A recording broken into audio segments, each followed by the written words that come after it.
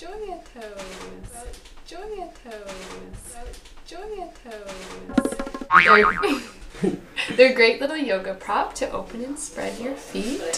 From especially women, or I find I wore a lot of really tight cramped shoes. I'd always buy shoes that are one size too small to make my feet look small and pretty, or just because they were on sale. And so now my feet are kind of, you know, bound up and cramped a little bit. So I use these to spread my toes nice and wide. I wear them during my practice and I walk around the house in them. I try to just wear them for like a couple hours every day. It was really hardcore at first. Wore them for like 12 hours a day. My feet started to get a little sore. It's a little too much. I had like special shoes, so I could wear them everywhere I went. Um, but now I've kind of scaled it back a little bit, so I just wear them a couple hours every day. Sort of like nail polish.